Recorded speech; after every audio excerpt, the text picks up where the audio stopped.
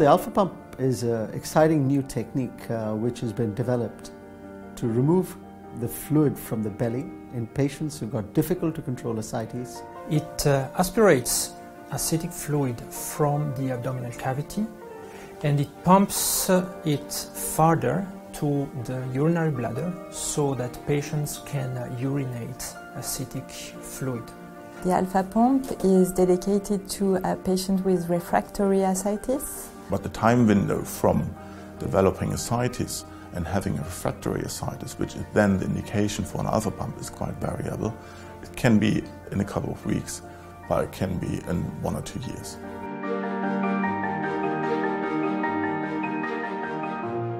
The patient doesn't need to go into the hospital every so often for evacuation of the ascites, which is really a difficult procedure for the patient. For the most part, um, the patients have a fantastic experience.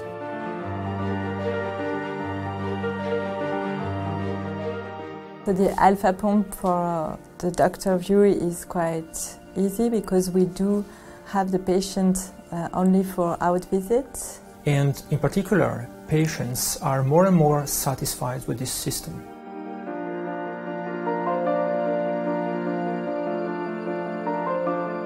The pump is charged wirelessly.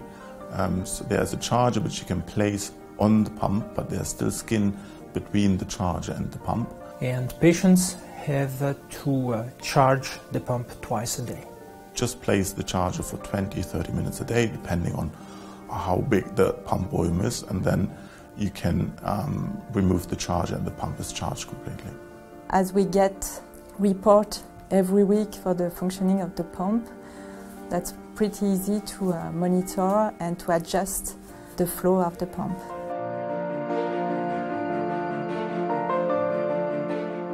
The operation takes roughly 45 to 60 minutes. This is, I think, the ideal time to, to perform the procedure.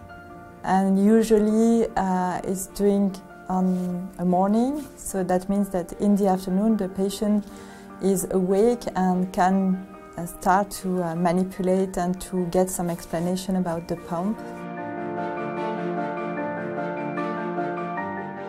When the alfapump is working well, these patients have a fantastic quality of life because the ascites is being automatically evacuated from the belly into the bladder and the patient does not require any further large volume paracentesis. So they take advantage of this continuous system in order to uh, not have uh, the pressure uh, in their belly.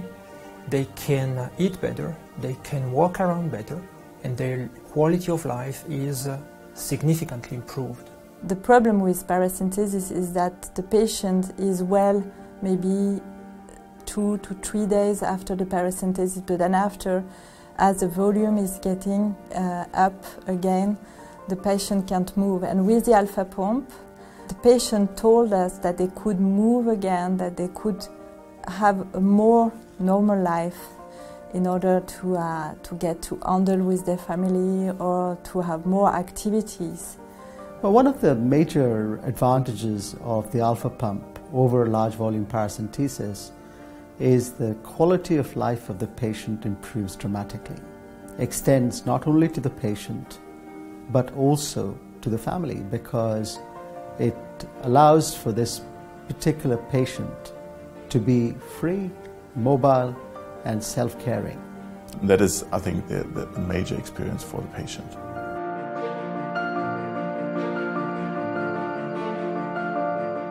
Uh, the, the last patient we have uh, implanted was really dependent on her daughter.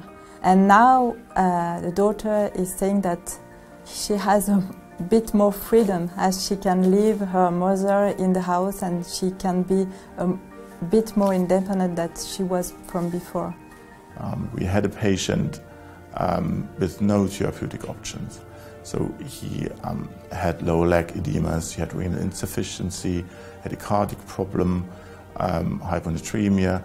So then, at the end, we decided because the patient was devastated and he was, he didn't, he didn't know what to do. We decided to, to try to implant the pump, and the patient is absolutely happy.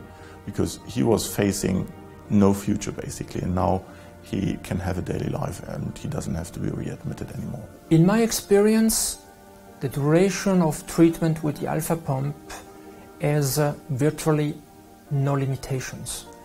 We have followed up patients for even more than one year, and the experience with these patients is uh, particularly positive because their quality of life is uh, definitely improved.